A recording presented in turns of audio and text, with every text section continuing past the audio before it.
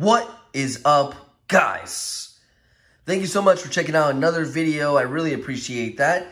Make sure you hit that like button. And if you're new to the channel and you want more videos on bullion, gold, silver, coin reviews, anything based on precious metals, make sure you subscribe and definitely hit that notification bell down on the right hand side so you know when I post new videos.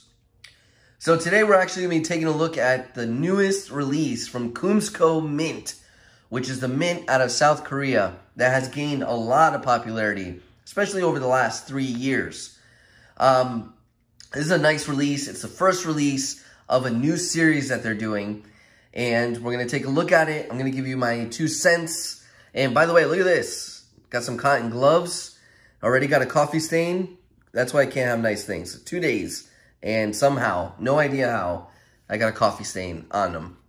So anyways, here is the coin, or the medallion, I should say. Does not carry any sort of denomination, and really, really nice release here. This is the first in the series, like I said. They have an open-end mintage, which means they have not announced how many are being minted.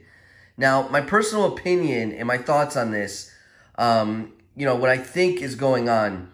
I think Komsco is releasing a somewhat affordable piece of silver. If you guys are familiar with other releases from Komsco, they are premium silver, very high-end silver. And if you compare the release price on this to the other releases, like from the Chiwoo Cheonwang, the South Korean Tiger series, uh, this was released under $30, whereas the other ones have been in the 30s.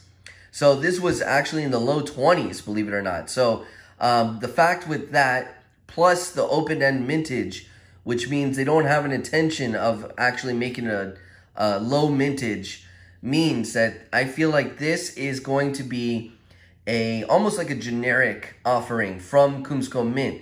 They basically want people to buy multiples of these and stack them instead of just buying, you know, splurging and buying one Chiwoo Cheonwang for 30 $32. You know, most people, most silver stackers are not going to buy a ton of silver rounds or silver coins for 30 something dollars. They're going to splurge by one or two.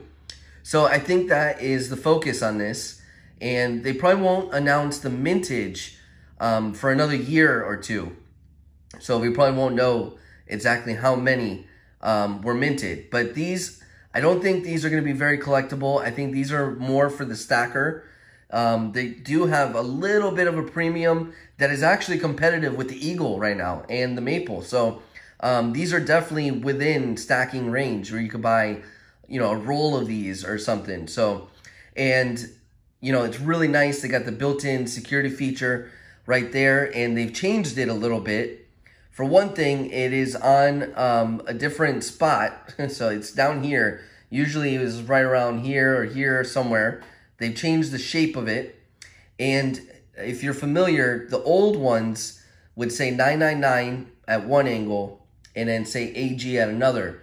And now, as you can see, it's got two separate Korean symbols, which is still going to be very hard to replicate. But um, I'm not sure exactly what those symbols mean. So if you know, put that down in the comments. So this is the coin, the medallion, I should say. Um, one of the first things I noticed is that they finally fixed the relief on these. They got a nice strike on these Phoenix. And hopefully that continues throughout this series. This is going to be an ongoing thing, the way they're uh, promoting it. So, but look at that. See that angle right there? That is something that Komsco has missed on the Chiwoo Cheonwang series and some of the other releases that they've done. It's just a really they've had like a really low lying relief. And it seems like now they got a nice uh, detailed high relief on these. And you can see the difference in the feathers and uh, the details. You can really, really notice that they fixed that, that issue with this. So they got a good die and a good strike on these right here. Um, which is strange because one of the most detailed coins, my favorite coin, is the 10 ounce South Korean Tiger. If you see that coin, I did a video on it. If you check that video out, that coin is uh, absolutely gorgeous and the details are everywhere. Amazing. So the Mint is very well capable of producing heavily detailed coins uh, with a nice relief. So they finally did that with these. So here on the obverse, we got uh, Republic of Korea. We got the two phoenixes facing each other. This is probably going to be the the same obverse uh, throughout the series, I want to say. I think this, the reverse, is what is going to be changing. I could be wrong. Who knows what they're going to do, but that's what I think. Then we got Komsco, one ounce fine silver right there. And if you notice, the background is not frosted and obviously not proof either. It's like a blurred background, which is actually kind of nice looking. Um, I wish they would have got more of a shine to the actual parts that are, um, you know, struck. That would have been cool going going against that uh, like a matte finish background.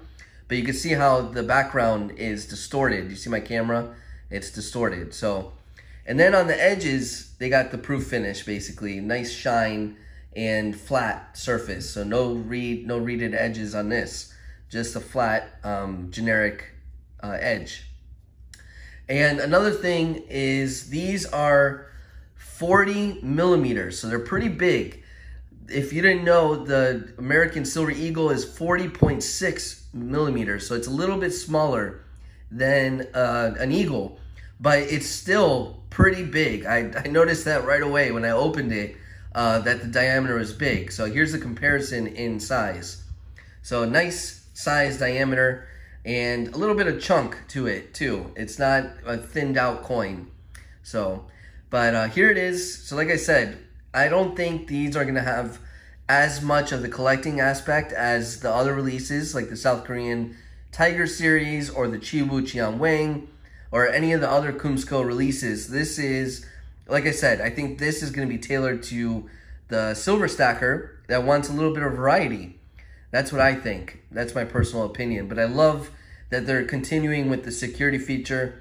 I love that any silver that can be verified on the spot. I love that. So um, that's nice that they did that. And um, like I said, the price point is really not that bad. This is the first of the series, so I would definitely suggest at least getting a couple of the first in the series. I always suggest getting at least the first and maybe the second. Sometimes the second in the series also appreciates really well, as we've seen with the Royal Fortune from the Black Flag series. So, but anyways, guys, let me know what you think. Really nice coin. I like it a lot. And I'm actually really excited to see what else they come up with because uh, with the Phoenix being the main theme, they could do a lot. They could really do a lot of amazing designs. So, but yeah, the, the mintage is open-ended, so we'll have to see. It's really going to come down to that, but I just, I really feel like this is going to be upwards in the 100,000 mintage. That's just my opinion. I really think it's going to be uh, pretty high. So, it could even be more than that. Who knows? So, but anyways, let me know what you think down in the comments, and uh, make sure to like the video if you liked it. Thank you guys so much, and I will talk to you guys later.